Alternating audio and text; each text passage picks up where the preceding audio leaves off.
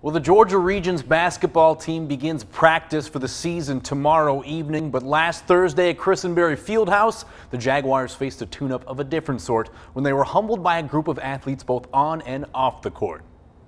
The players on the Georgia Regents basketball team are gifted on the court. Whether shooting or slam dunking, they're blessed with the ability to put the ball in a basket. And that's what made last week's exhibition game against the Augusta Bulldogs such a humbling experience.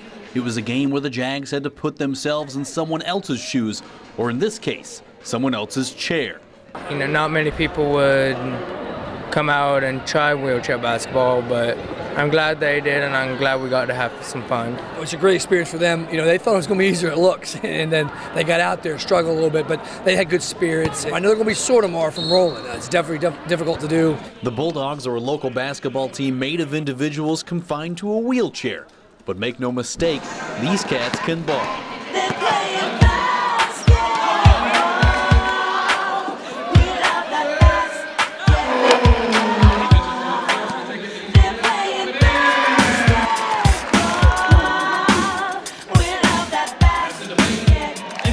They weren't expecting the speed or the, the, the chair mobility.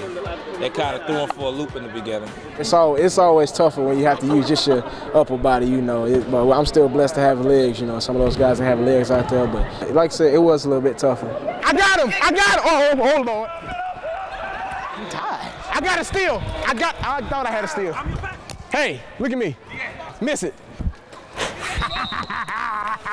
When the buzzer sounds, the Bulldogs dismantled the able-bodied Jags 44 to 13, but the real impact of the game had nothing to do with the final score. It's a real blessing and inspiration to us. Just because they don't have legs, but they still work as hard as we do, you know, with legs. So it's it's just, as I say, it's just a real blessing. Just because you might have an impairment, that you can still do sports. It's it's the same sport, just a different way. And uh, we just just love to play ball.